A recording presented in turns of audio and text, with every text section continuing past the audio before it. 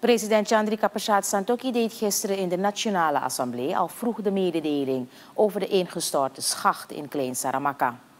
De DNA-voorzitter en ook verschillende fractieleiders reageerden geschokt op het gebeuren en toonden hun medeleven aan de nabestaanden van de slachtoffers.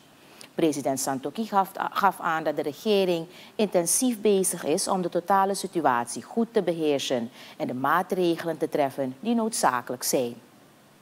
Er is een clusterteam van ministers aangewezen, bestaande uit de ministers van Justitie en Politie, van Defensie, van Natuurlijke Hulpbronnen, van ROS en van Financiën. Daar is eh, ook een lid van het Openbare Ministerie dat met de centrale coördinatie belast zal worden en iemand van de communicatiedienst om de samenleving zo goed mogelijk uh, te informeren.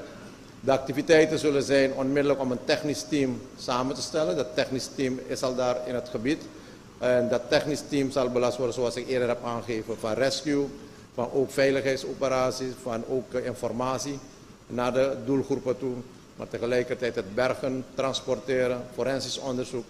Er zal een onderzoeksteam zijn onder leiding van de procureur-generaal om dit incident ernstig in zich grondig uh, te onderzoeken.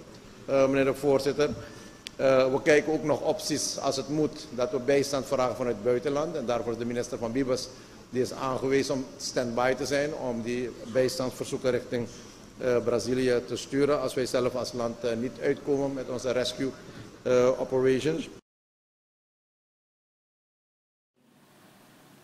De president legde ook uit dat goed overleg in deze kwestie met het traditioneel gezag van eminent belang is. De regering zal aandacht schenken aan de nazorg van dit gebeuren. Ook Xijing Mining NV heeft met verslagenheid kennis genomen van het gebeuren binnen haar concessiegebied. Het bedrijf deelt haar oprechte condolences met de nabestaanden van zij die getroffen zijn door dit dodelijk voorval.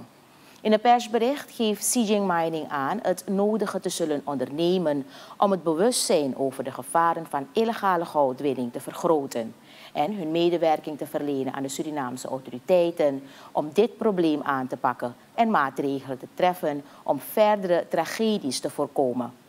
ATV condoleert de nabestaanden van de dodelijke slachtoffers en de Surinaamse gemeenschap met dit tragisch voorval.